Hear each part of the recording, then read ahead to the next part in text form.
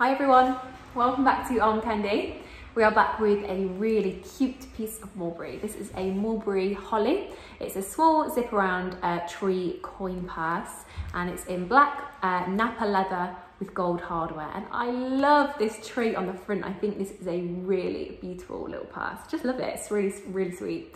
Um, so it's easy to explain. You've got a zip round closure and then inside you've got two open spaces and you've got three card sections. So one there, one in the middle there, and then one at the back there as well.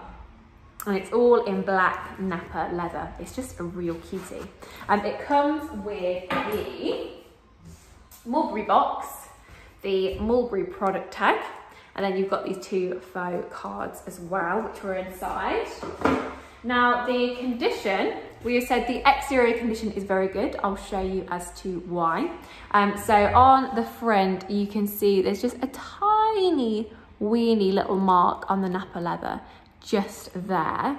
And uh, that's it. That's the only reason we've called it very good and not excellent. It's in beautiful, beautiful condition. I don't particularly think it's ever been used. Um, I think the mark might just be from storage, but it's just really, really lovely. I just love this. And the interior is excellent. There's no marks on the interior. It looks absolutely perfect.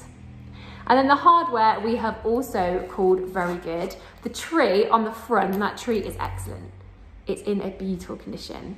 Um, but there's a couple of little marks on the zip pull there, which is why we've called it very good. When you hold it into the light, you can see. But it's still beautiful and gold and lovely. There's only one tiny sort of dark mark, which is just there.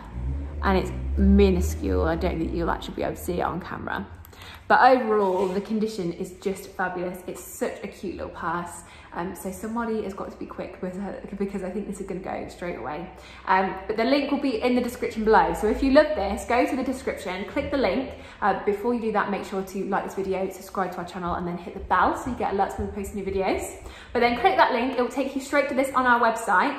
There you can see all the details about it. You can also have a look at all of our other arm candy whilst you're there as well. And when you're on the website, make sure to sign up to our newsletter because then you'll get a welcome discount. Um, but yeah, I think that's everything. Have a look at this and we'll see you tomorrow with some more arm candy.